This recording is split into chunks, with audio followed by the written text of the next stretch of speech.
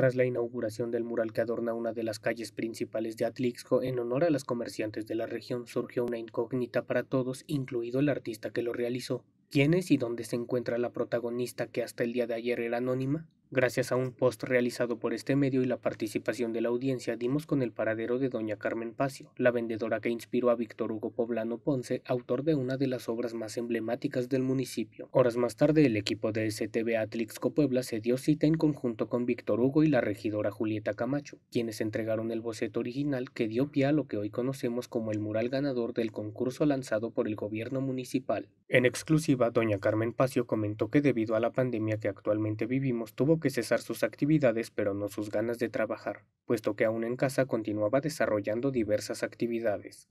Ya no pude también,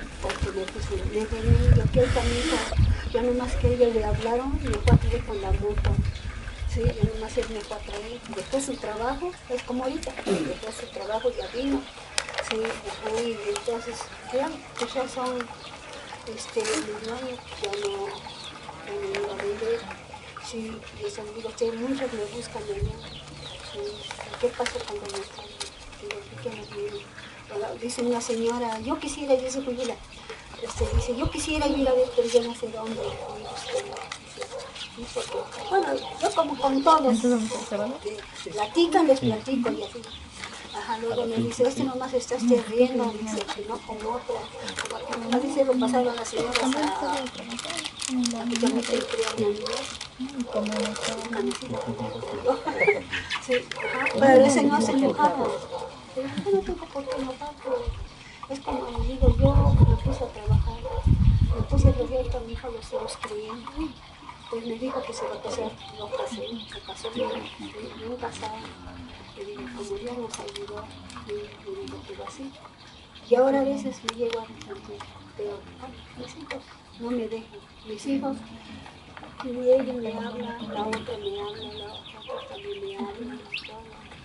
Es lo que me dice, ay mamá, dice, nos, sentimos contentos, dice, yo estoy bien famosa, ya está por acá, ya estoy por acá, pero porque no me llevan, ya quiera me ya me por su parte, Víctor Hugo Poblano recalcó que al no encontrar a la mujer de su fotografía sintió tristeza por no poder agradecerle. Sin embargo, hoy se sintió feliz de poder hacer una realidad este encuentro. Pues, este, sí fueron unos meses porque no sabía. Me dicen, postea la foto, si no es que todavía no está listo el mural.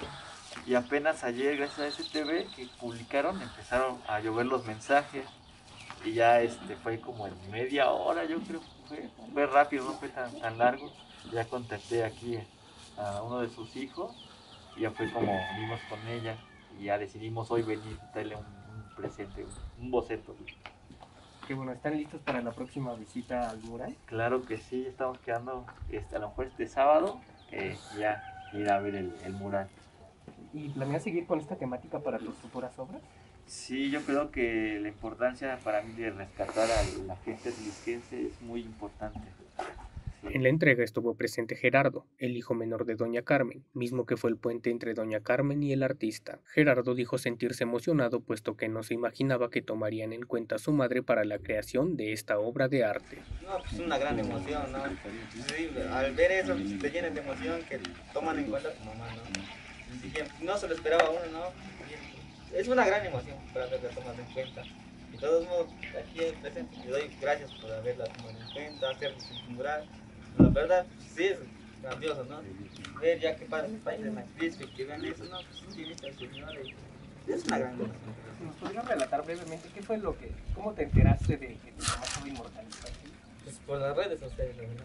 Por el Face, todo eso, me mandaron, me contactaron y sí vi, me mandaron una captura. Yo vi, ¿qué hace mi mamá y no? ¿Quién le tomó esa foto? Y después ya me mandaron una de mural. a la hora de, ah, no, no qué gran emoción, quién fue ese gran que hizo eso, ¿no? Y sí, ya es eso lo que...